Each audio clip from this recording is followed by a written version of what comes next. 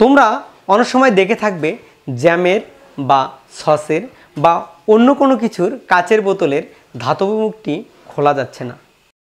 এরকম অবস্থায় আমরা সাধারণত কাচের বোতলের ধাতব মুখটি গরম করে হালকা মোচর দিলেই খুলে আসে। কেন সহজে মুখটি খুলে আসে? স্বল্পমূল্যে ব্যবহারিক বিজ্ঞান শিক্ষায় স্বাগতম। আজকের এই পরীক্ষণটির মাধ্যমে আমরা তাপের প্রভাবে কঠিন পদার্থের প্রসারণ পর্যবেক্ষণ করতে পারব। এই পরীক্ষণটি করতে আমাদের প্রয়োজনীয় উপকরণ যা যা লাগবে, একটি টিনের পাত বা টিন, গজাল, মোমবাতি, গ্যাস লাইটার, একটি প্লাস হাতুড়ি এবং একটি কাঠ।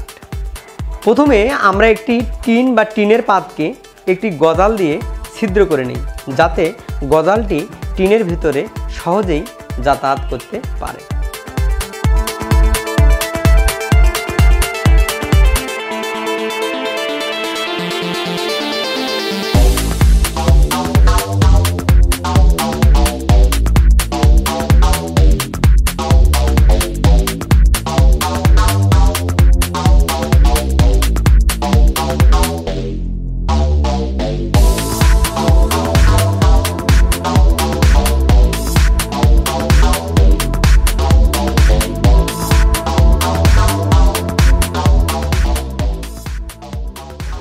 মোমবাতি জ্বালিয়ে টিনের পাটটিকে প্লাস দিয়ে ধরে তাপ দিই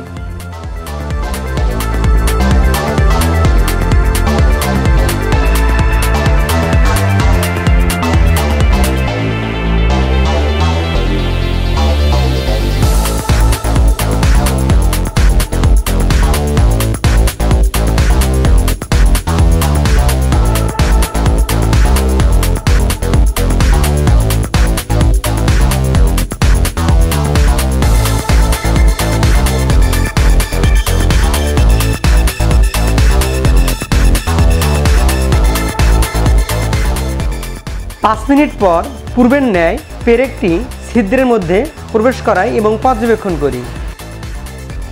আমরা এখানে দেখতে পাচ্ছি পূর্বের মতো ছিদ্রের মধ্যে পেরেকটি আর প্রবেশ করছে না।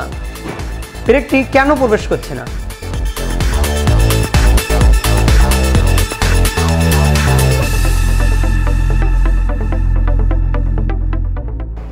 তাপ প্রয়োগের ফলে টিনের পাটটির প্রসারণ ঘটেছে।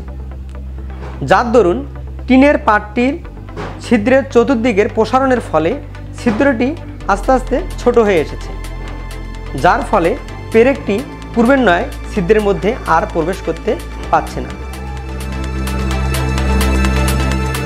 তোমরা কি এরকম মজার মজার এক্সপেরিমেন্ট করতে চাও? তাহলে ভিজিট করো connect dot edu dot BD